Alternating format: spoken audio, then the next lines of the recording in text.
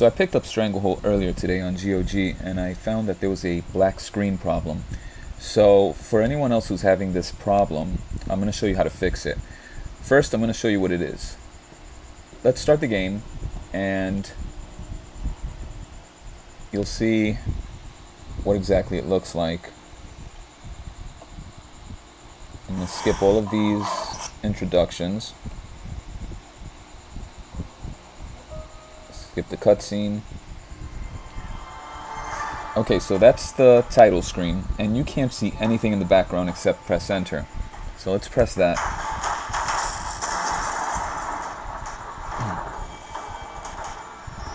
Still nothing, only a menu. Let's go to continue.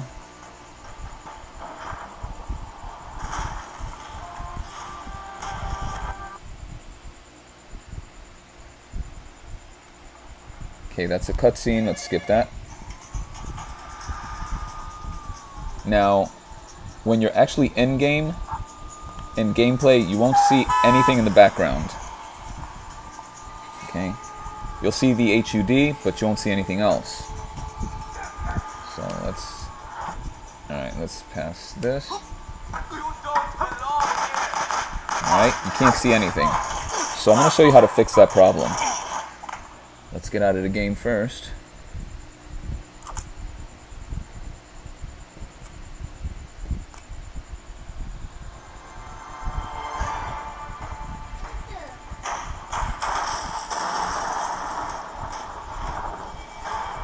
Okay, let's exit the game.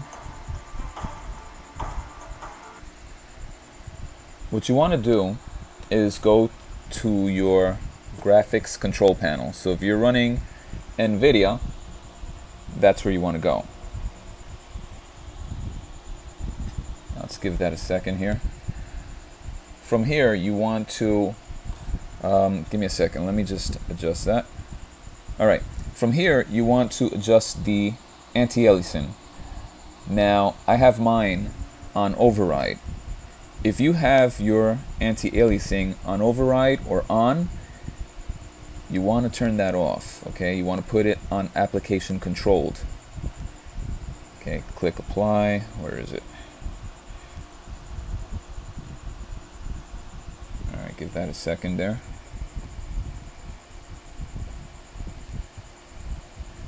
Okay let's start the game. Now um, it should fix the black screen problem and the game should work uh, perfectly fine Okay, let's skip all of this again.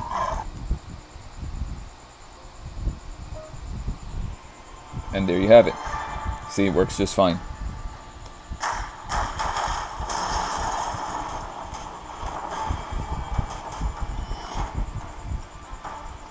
Okay, let's uh, go to continue. So you can see how it looks in game, in actual gameplay.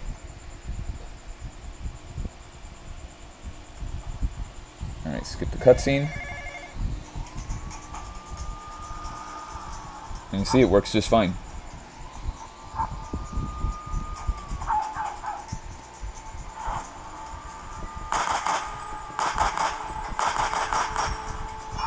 And that's how you fix the black screen problem in Stranglehold for GOG. Take care.